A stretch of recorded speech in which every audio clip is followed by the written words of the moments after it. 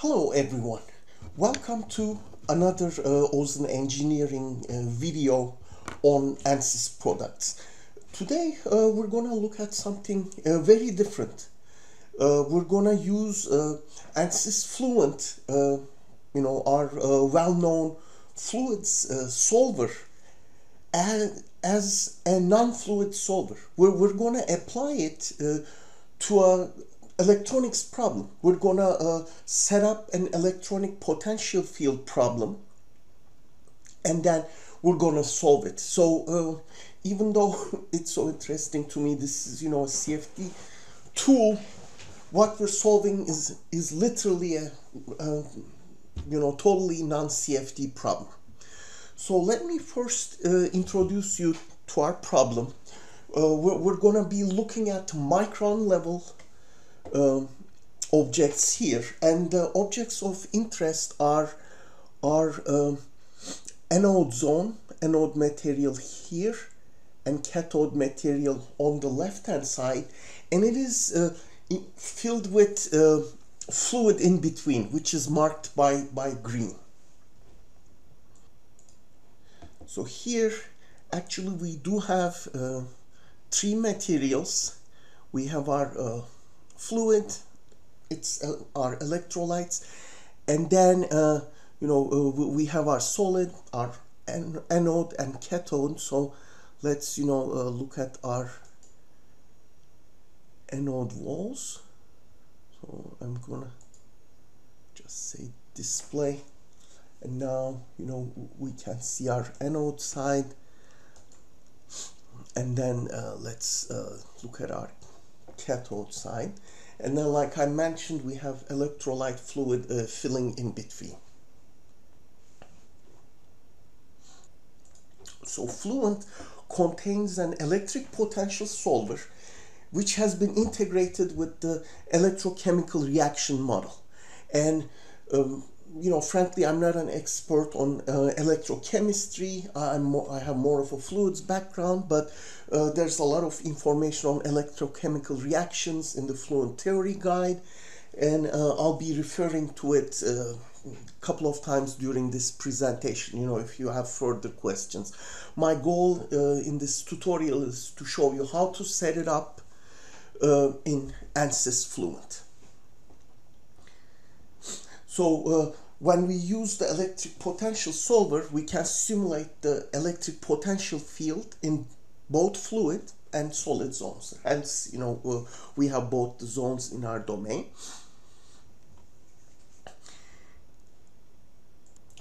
So uh, one limitation for electric potential model is that it cannot be used in simulations with walls that have shell conduction boundary condition, which uh, we do not have. So uh, I'm gonna start talking about uh, setting up the electric potential model since we kind of introduced our model.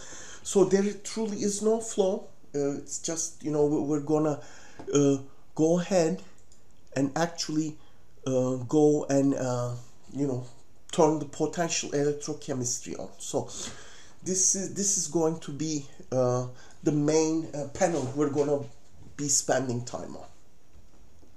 So here, uh, we're going to solve the potential equation. Uh, we do not want to include the Joule heating in, in, in the energy equation. Uh, and uh, we can, you know, also use ele electrochemistry or not. We have three options. And here we are interested in a lithium ion battery model.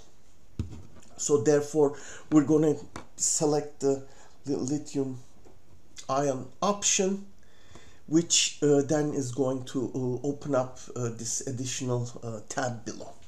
So the first things uh, obviously want to do is uh, we want to do the zone selection and keep in mind that we're not going to include the electro electrochemical heating in the energy. So we're not going to be solving energy equation at all in this case. So here um, our negative electrode zone is going to be our solid dash AN for anode. Uh, our electrolyte, i.e. fluid region, is our fluid dash uh, EL. And then our positive electrode then is uh, you know will be called solid dash uh, Ca for for the cathode zone so these three need to be present uh, in order to uh, do, this simulation. The next uh, tab we need to work through is the EChem electrochemistry rate tab. And here uh, you, you will see a set of numbers. Uh, and these uh, are uh, essentially Butler-Volmer rate parameters. And all of these numbers uh, are you know coming from the fluent theory guide for you know lithium, lithium ion. So, so these numbers we, we just put in uh, and uh, you know we could also use a single number for equilibrium potential for the anode and cathode. But in this case we want to do a better job so we have uh, we're using uh, user libraries uh, you know UDFs uh, to, to define our equilibrium potential for the anode and the cathode and uh, these files uh, should be placed uh, in the appropriate location in the file structure. So what the user needs to do is have uh, within the Fluent files in the same folder ha have the UDF file and ha have it compiled under directory called libudf. Okay.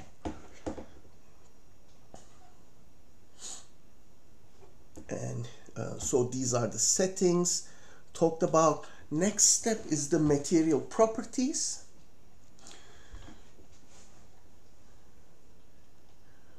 so uh, when we uh, go go through this again these uh, numbers are coming from the um, fluent theory guide uh, you know this is the maximum value of lit lithium concentration in cathode and anode uh, and then the starting uh, concentration values and uh, we also have our electrode initial concentration value.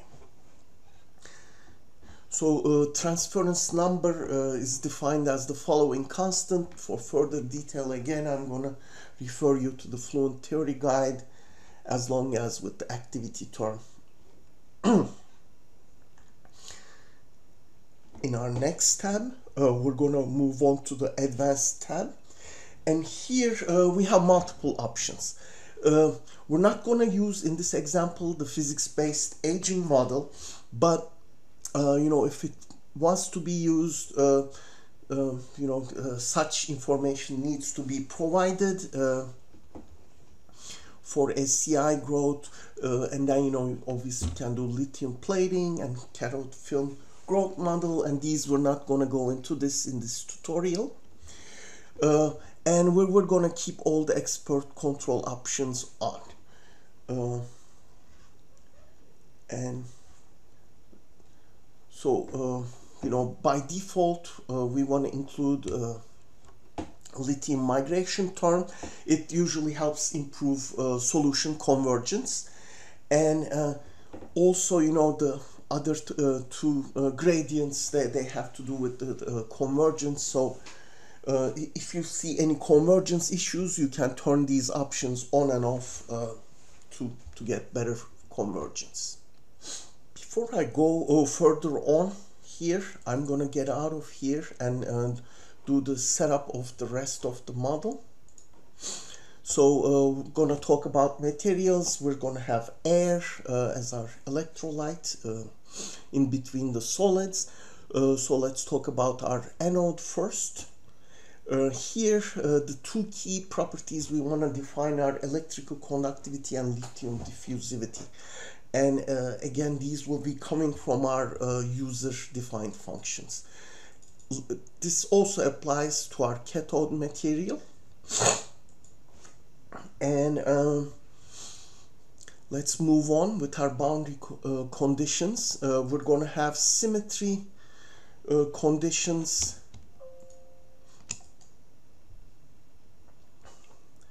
All around our object. So let me quickly display one of them So we'll have symmetry all around, which means uh, we have a repeating pattern of anode and uh, cathode uh, uh, electrodes everywhere.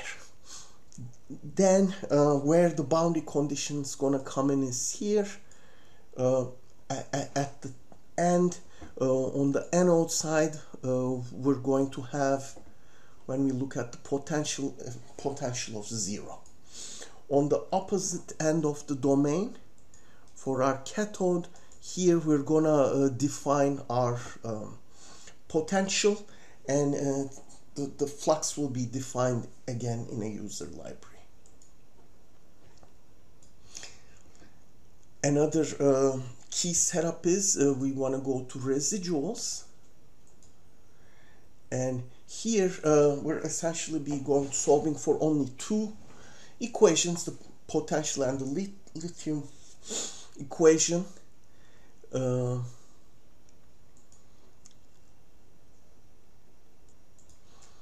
and if we go to solution residuals, double click here. Okay. And uh, we can change the convergence criteria here. So again, uh, if we go under our solution controls, we do not have to touch these. We can go to equations and just confirm only two uh, equations are being considered. So once that setup is done, let, let's go back to our um, potential model, talk a little about uh, solution reporting. So once you turn your uh, potential electrochemistry on, ANSYS Fluent is gonna uh, automatically generate two report definitions. Uh, lithium ion battery SOC and lithium ion battery capacity. So you can find these definitions if you go under here. Those are the two definitions uh, Fluent is going to add in. So here they are.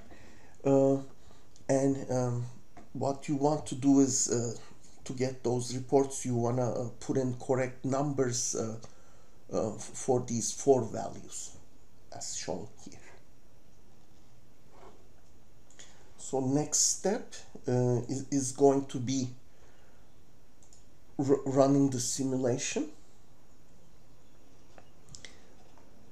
So let, let's go to our uh, run, run calculation.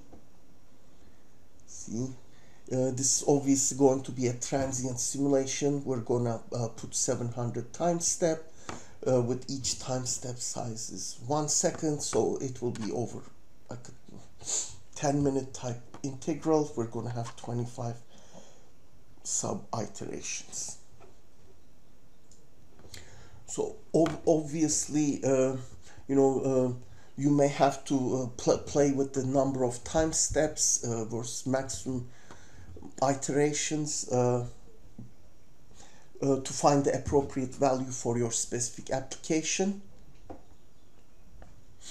And um, you know you can check the total current at the anode and cathode and the goal is that the two current values must be ad adequately balanced out during every time step in during the simulation. So please keep that in mind. So then we essentially hit the calculate button and then um, you know the, the solution starts going. So here uh, what we're looking at is the lithium concentration at, at time zero. So once the solution is available, um, you know, um, you're gonna you can look at this variation at uh, different time steps. Uh, so this concludes uh, our uh, presentation for today. Thank you for your interest.